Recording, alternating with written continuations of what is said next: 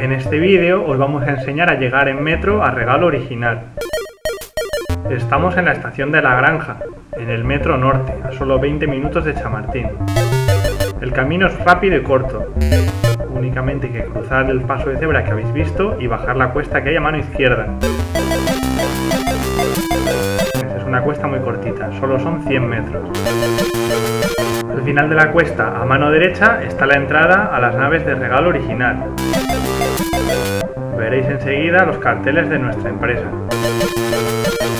Los regalos se recogen en la nave de la izquierda. Únicamente tenéis que llamar y alguien de nuestro equipo os abrirá encantado.